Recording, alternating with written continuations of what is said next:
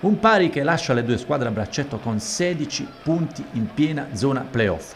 Un pari tutto sommato giusto che, seppur a reti inviolate, non è stato privo di emozioni. Nel posticipo dell'infrasettimana del girone H di Serie D a degli Ulivi, Andria e Bitonto hanno dato vita ad una gara equilibrata e ben giocata da entrambe le parti. Dopo i primi minuti di studio, il primo squillo di marca nero-verde e nasce da un cross di Patierno da destra. La palla arriva a Turitto che conclude senza trovare la porta. La risposta dell'Andrea si materializza al quarto d'ora e porta la firma di Cristaldi. Il diagonale del centravanti argentino si spegne sul fondo. Con il passare dei minuti cresce la Fidelis. Al ventesimo, buona opportunità per Aina che non controlla bene la sfera in aria, favorendo l'uscita di Figlioli. Quattro minuti dopo, sempre Aina protagonista.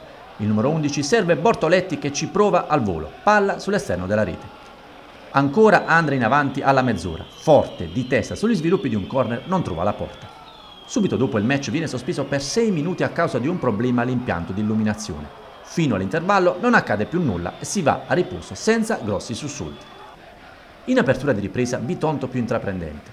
Il primo a provarci è Patierno che non trova la porta su cross di Cappellare. Poi è Campo Reale a tentare la soluzione dalla distanza trovando la risposta di Zinfollino ed infine ancora Patierno sempre su cross di Cappellari a confezionare la terza occasione nero-verde nel giro di pochi minuti palla anche questa volta sul fondo. Subito il buon inizio di secondo tempo degli ospiti, l'Andria prova ad alleggerire la pressione con un tentativo di Adamo da fuori. Figliuola controlla. Poco dopo l'ora di gioco Pizzulli si gioca la carta Picci. L'attaccante barese prende il posto di Patierno mentre Faccini subentra a Padulano. Al 65 altro tentativo dalla distanza per il Bitonto. Zaccaria non trova lo specchio. Dall'altra parte, ben più pericoloso è il bolide di Piperis. Figliola vola a deviare in corner. Nell'ultimo quarto d'ora le squadre provano a superarsi. Al 75 Picci si libera bene al tiro ma non inquadra la porta.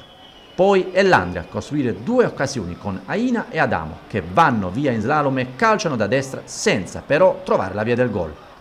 L'ultimo sussulto arriva nel terzo dei quattro di recupero concessi dall'arbitro e lo porta Picci.